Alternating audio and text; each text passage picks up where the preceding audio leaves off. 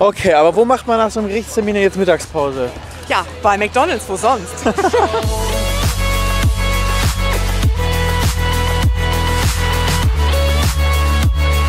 Guten Morgen Leute aus der Nähe von Bielefeld. Schaut mal, wo ich bin. Heute gibt es einen Tag als Anwalt, denn ich bin von Nicole Mutschke eingeladen worden. Frau Mutschke muss man eigentlich sagen. Guten Morgen! Weißt du, was das für eine Ehre eigentlich ist? Ich habe mich richtig, ich dachte, ich habe ein Hemd in meinem Schrank gehabt. Und ich dachte, Ah. als, als Anwalt muss ich ja hier mich ordentlich anziehen. Steht sogar hier unten bei euch zu Hause. Rechtsanwalt Ja, das war eigentlich tatsächlich mal die Kanzlei. Also so habe ich angefangen. Also nicht mit großer Kanzlei, sondern mit ganz kleiner Kanzlei. Hier zu Hause. Aber jetzt bist du woanders. Aber Ja. trotzdem, hier wohnst du. Hier wohne ich. Komm War rein. ein Tag alt. Im besten Fall fangen wir mal zu Hause an.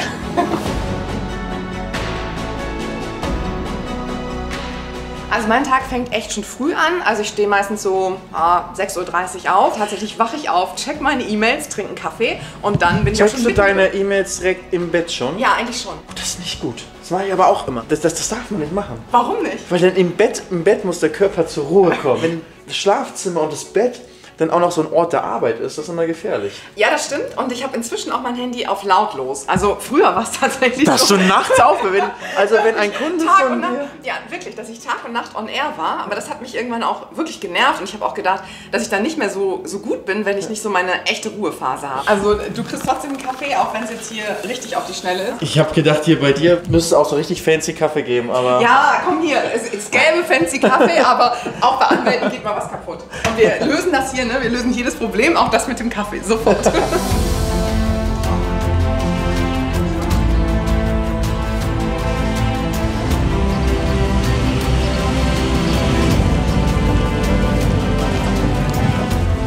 Schickes Auto. Ja, danke, danke.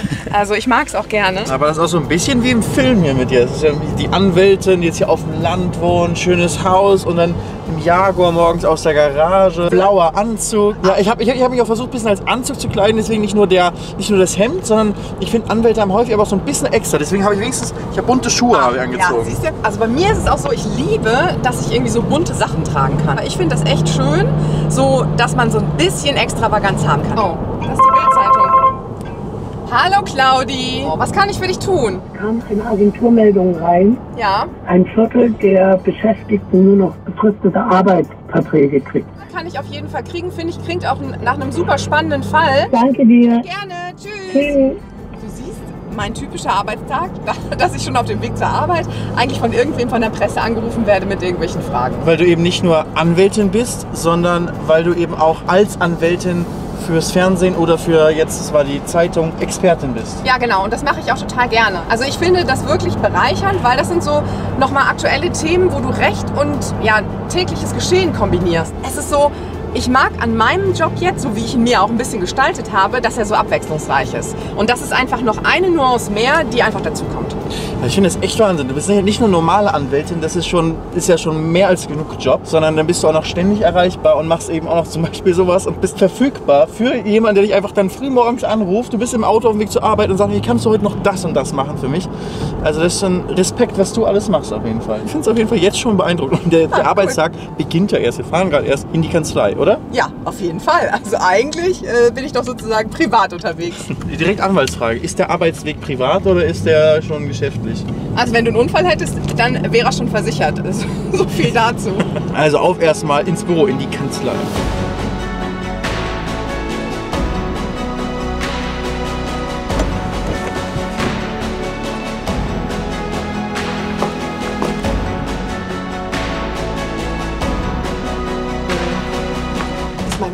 Koffein brauchst du aber auch, um durchzuhalten. Ja, ich sag mal, gesund lebe ich nicht.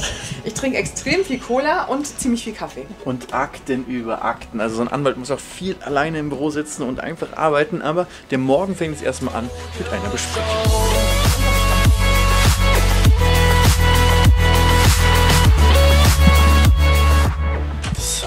Hier immer ganz typisch am Morgen. Ein bisschen plauschen mit den Kollegen, ein bisschen besprechen, was eben die Woche so ansteht. Wir haben heute Montag, was alles gemacht werden muss. So beginnt der Tag hier in der Kanzlei und ganz wichtig immer bei Anwälten. Hey Honey, keine Panik. Die haben alles unter Kontrolle. Patty ist wirklich so auf Trab hier. Hier kurze Besprechung. Du läufst sogar schon. Ja. So, die Wege sind nicht so weit. Du sparst fünf Sekunden, wenn du hier läufst, aber. Die muss man aber sparen. Was machst du jetzt genau? Also, jetzt Du bist wirklich so schnell. Guck mal, du läufst hier so rein. Zack, zack, zack, zack, zack.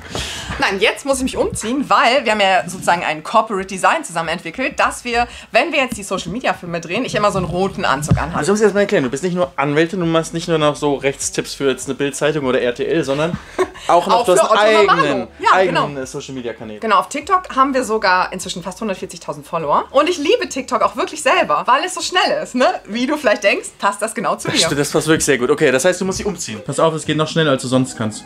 Tja, so bin ich schon fertig. Das ist sozusagen äh, unser kleines Studio. Auch wenn deine Probezeit vielleicht länger als sechs Monate ist, das Kündigungsschutzgesetz, das greift definitiv nach sechs Monaten.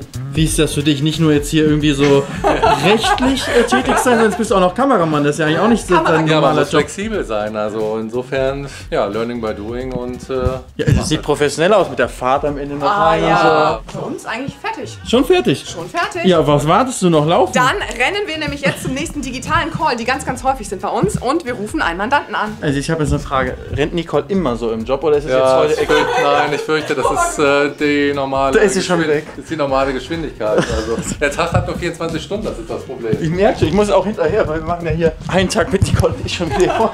Eins, zwei, drei.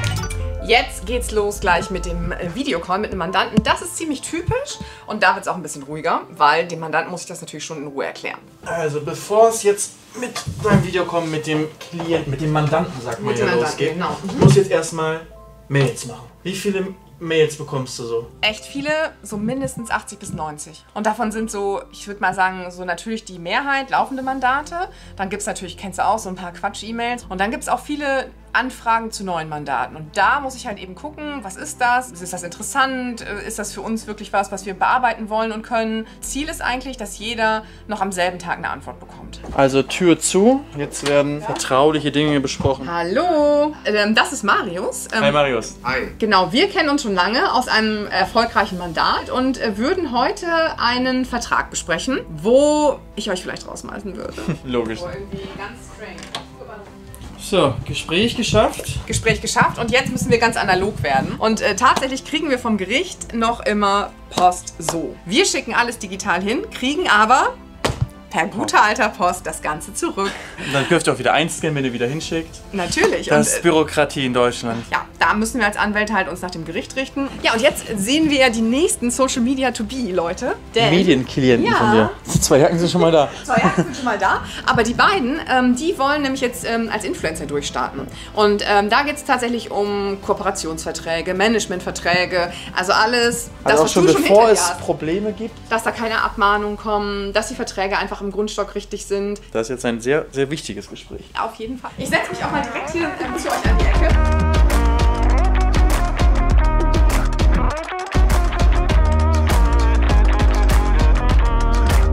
So, ich meine nicht nur Praktikum heute bei Nicole. Ich kann, konnte schon fast mit Rechtsberatung hier geben. Ja, das eben, sind ne? auf jeden Da-. Das sind die Formula One Twins. Mache ich mich gut so als, An- als Anwalt? Die können mir jetzt so zwischendurch so hier Mittagspausen Feedback geben auf der Treppe. also es wirkt auf jeden Fall so, als hättest du schon so zwei Semester so hinter dir, oder? Ja, ja, du es hast schon auch? gut Ich, studiert. ich, ich habe tatsächlich auch zwei Semester studiert.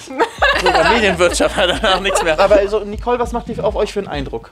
Sie ist sehr kompetent. Sie ist, glaube ich, eine sehr gute Anwältin. Man kann ihr auf jeden Fall vertrauen. An ihr mag ich auch sehr gerne, dass sie sehr locker ist. Also sie ist nicht so dieser typische Anwalt, der irgendwie einen Stock im Arsch hat, sondern mit ihr kann man auch richtig gut reden. Also, die Mandatinnen sind. Heißt das so? Mandat- Mandantinnen. Mandantinnen. Mandantinnen. Mal, ich sollte das echt besser wissen. Die, Man die Angeklagtinnen, ja, ja. Also, no, ja, ich würde sagen, ihr seid Mandantinnen und keine Angeklagtinnen. Aber ähm, ja, ihr seid auch zufrieden. Auf jeden Sehr Fall, ja. Top. Dann äh, kann ich jetzt aber weitermachen, denn jetzt geht's wirklich gleich mit äh, Nicole einmal zum Gericht Robe weiter. dann. Ja, mir wird eine ausgelegt. Ich bekomme eine Robe. Unfassbar. Da passt du rein. Weiß ich noch nicht. Nein, weil das so groß Passt in alles rein, was sind das für Aussagen hier? Und da sind wir schon. Hier ist das äh, Landgericht. Bielefeld. Ja, genau. Und ihr seht schon, ich habe eine Robe an, die habe ich hier bekommen von einem Kollegen. Denn als Anwalt muss man, wann muss man eine, Gerät- eine Robe tragen und warum? wenn du beim Landgericht bist, dann giltst du als nicht anwesend, wenn du keine Robe anhast. So als wärst du nicht da. Was ist das für eine Regel? Ja. Das ist wirklich, das, ist so, das hört sich an wie so eine Mittelalterregel. So. Aber du ziehst die Robe dann erst wirklich bei der Verhandlung an. Ja, eigentlich ziehst du sie wirklich auch meistens sogar erst im Saal an. Also wenn du dich hinsetzt. an Doch schön. Tisch. Ich fühle mich wie ein kleiner Magier hier eigentlich.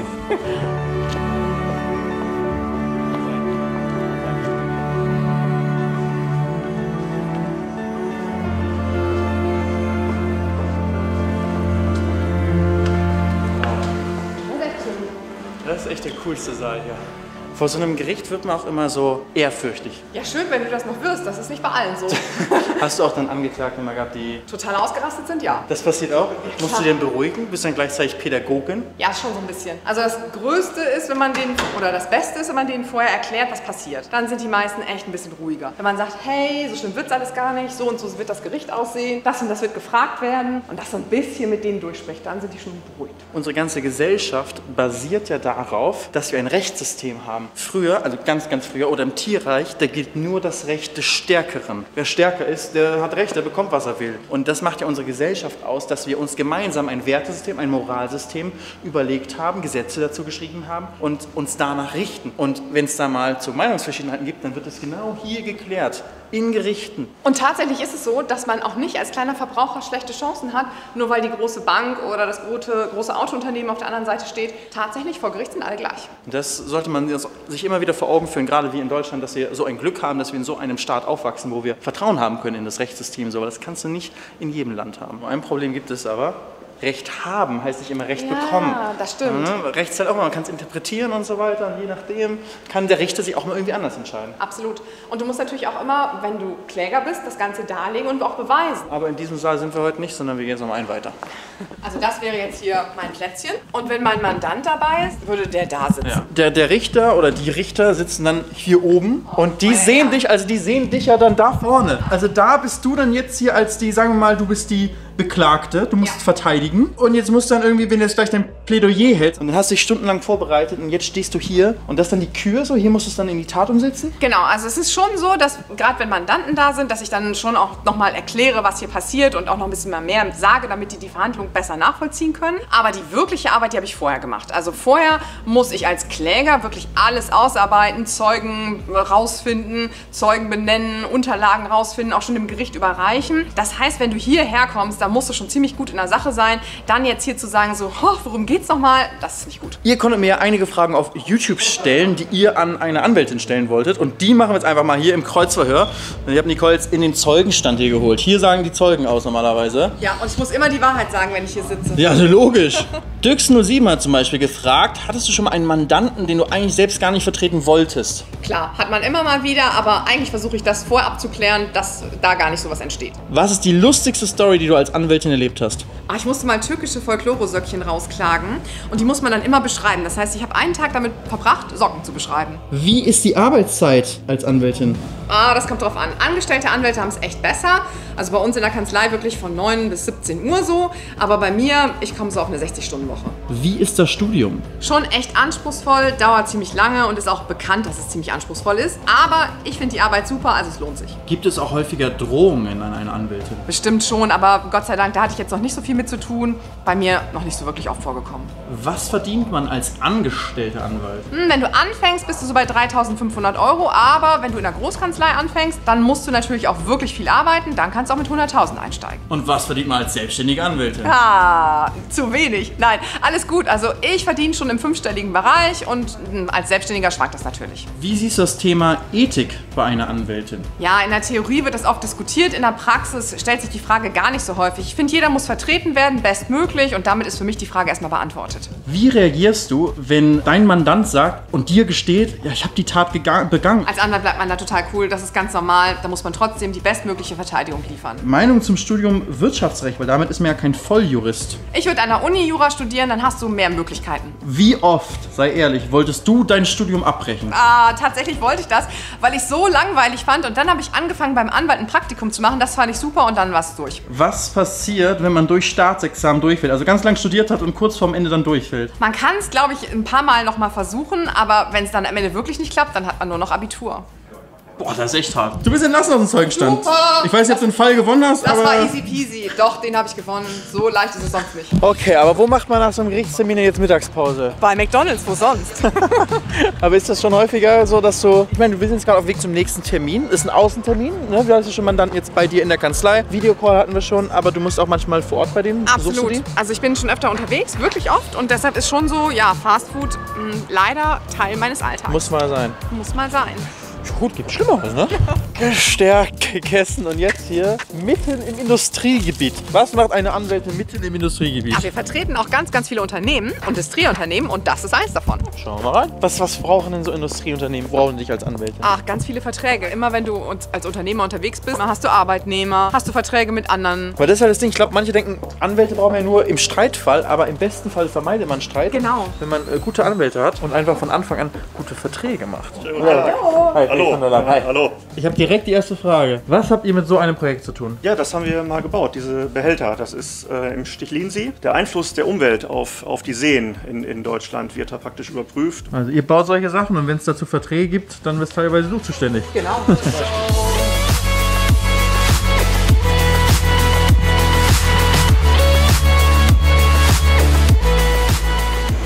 Also jetzt auch noch hier mitten in der Industrie heute unterwegs. Hätte ich vorher auch nicht gedacht, aber als Anwalt ist es eben auch wichtig, dass man das, was die eigenen Kunden machen, dass man das auch versteht, damit man die richtigen Verträge dafür machen kann. Also Wahnsinn, was Nicole alles macht. Und zusätzlich ist sie ja auch noch fürs Fernsehen aktiv, für Stern TV.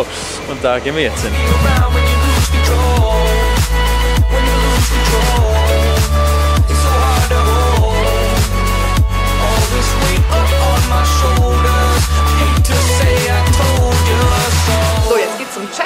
Danach ja, geht's eigentlich auch schon direkt live. Wow, Leute, eh schon ein spannender Job auf jeden Fall als Anwalt oder Anwältin und insbesondere bei Nicole Mutschke, was die alles an einem Tag macht. Aber jetzt, wenn ihr mehr von ihr sehen wollt, checkt ihr Instagram, TikTok oder YouTube aus. Die Links sind alle unten in der Beschreibung. Oder wenn ihr Rechtsberatung braucht, ihre Website ist natürlich auch verlinkt. Bis zur nächsten Folge. Macht's gut. Ciao, ciao.